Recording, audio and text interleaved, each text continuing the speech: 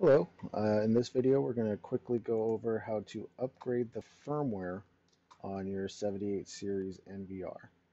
Uh, so first thing you're going to want to do is go into the main menu and then we're going to go to maintain here at the bottom and here's where you're going to be able to check and see if your system's on the latest version and here you'll see the version number, release date, and it'll tell you new version available. If your system is not hooked up to the internet, then this will not work.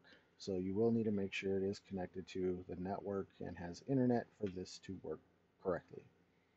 Uh, so if there is a new version, click download the new software and upgrade it down here on the bottom.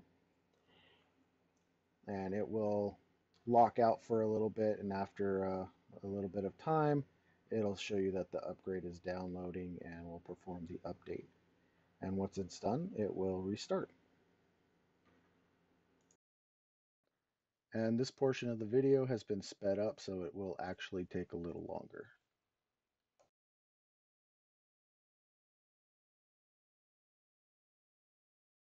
Then when it comes back online, you might see a little bit of an interface change depending on how old the firmware was, but for the most part, everything should remain relatively the same. Uh, so go ahead and put in whatever password you created for the unit. And when you go back to maintain down here, you'll see that your unit's on the latest version. And it'll say this is the latest version here at the bottom, uh, showing that there's no more updates.